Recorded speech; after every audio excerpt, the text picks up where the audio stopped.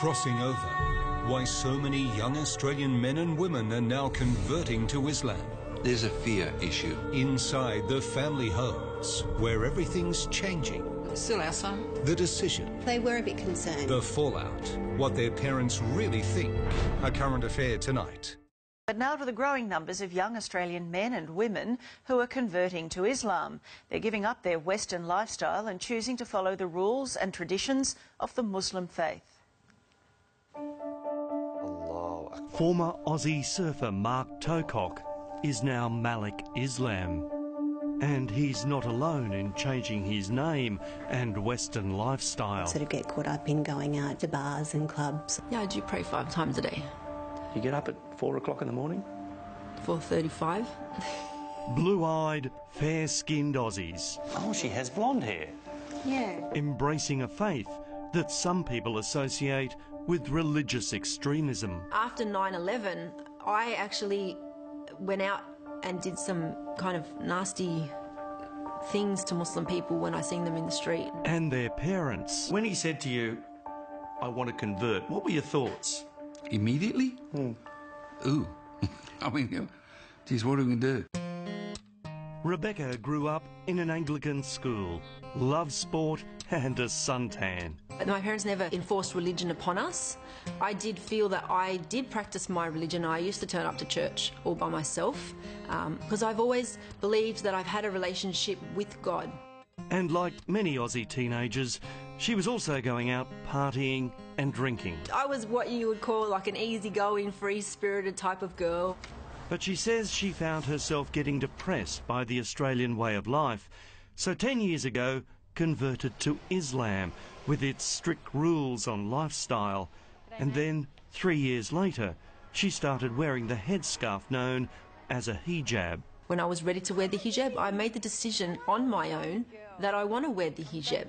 But there's no enforcement upon me that I need to wear hijab. She gets looks from people, as do we as her parents, but you know, you're going to get that in, in any any place. Rebecca grew up in a sporting family. Mum Marie is a World Masters Athletics champion with more titles than the British royal family, while Father John is a world champion at javelin. This was her passion. Oh, really? Brought up on the beaches of Wollongong, south of Sydney, a very outdoorsy family. When she said she was going to convert, what were, what were your thoughts? Yeah, I was surprised. Um, she asked the question, did, what did I think about her changing and converting to Muslim? And I said, if that's your choice, you're our daughter. You'll always be our daughter, and we're proud of you. And if that's what you want to do, well, then we support you. And while there are very different physical and social changes to their daughter, they are enormously proud. Well, the drinking I don't miss. I still go out with my girlfriends. I still have coffee. I still uh, go to fundraisers. I enjoy myself. I actually am so happy with my lifestyle now that I don't really reminisce on the times before. Malik, do you miss the Western lifestyle, the uh, night clubbing, the drinking, and so on? There is no benefit from drinking. There's no benefit from clubbing. There's no benefit from gambling. Um, if anything, you know, staying away from those kind of things, um, I, I believe, can fix a lot of the problems that society has. Blue eyed Mark, now known as Malik, got interested in the religion because he liked the way his Lebanese mates at the beach talked about their faith. Live your life in a peaceful, calm, respectful way. It's about finding a nice way to live life. He's since met his wife Asma, and together they run a successful small business. As long as he's happy. And he has been. His father Brian is a retired salesman, and mum Chris works at Woolies. And although they don't celebrate Christmas as a family anymore, We don't love him, less. No, still, still our son. Yeah, you can never change that. but he has changed his name.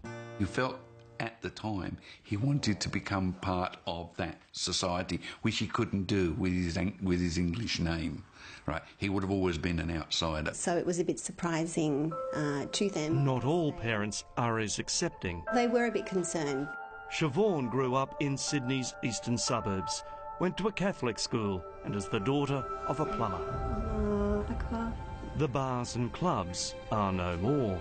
I found um, liberation, um, sort of not oppression in covering up my body because I could then, um, you know, project the true person who I was, not what I looked like. So people could judge me on the content of my character, not on the exterior.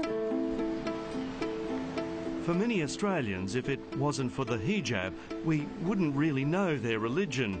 But just like Christian nuns, those Muslims who are more deeply religious say this dress gives them a spiritual connection. It's teaching you to be more pure, um, to remember all the time that you are veiled. So check your manners, check the way you speak, make sure you're acting in a correct manner.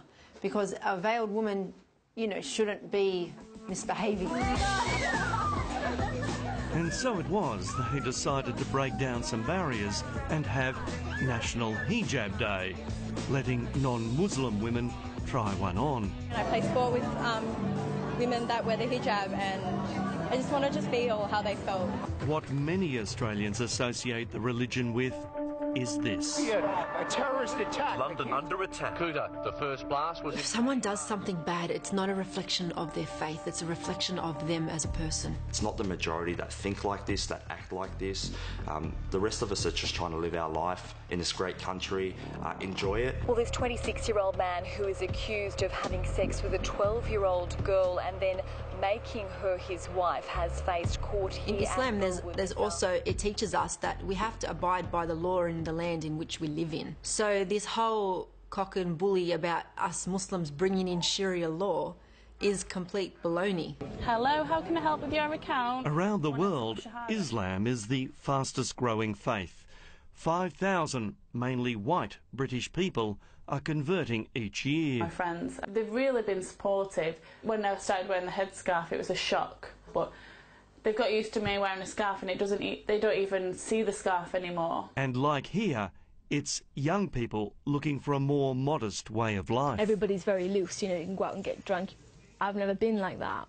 And this is why Islam was so appealing to me was because it was a religion where it was quite conservative. Muslim population is rising from within Australia. Migration is not the major contributing factor. Islamic expert Dr. Jan Ali from the University of Western Sydney says while the numbers here aren't anything like Britain, Aussies are converting for some simple reasons. Some sense of belonging, some sense of recognition, some sense of inspiration. As for Siobhan's parents, they now accept her new faith. Once I became Muslim, this gave me a guide to life that very much helped me get on, on the right course for me and give up the bad habits and feel very content. In a country where you can choose whatever you want to wear, drink freely, and eat whatever you want, these young Aussies choose to live this way and not because they married into it. Do you think that you might one day fully cover yourself? I don't know. Well, I can't say never. Because one time in my life I would have said I've never become a Muslim, and look what happened.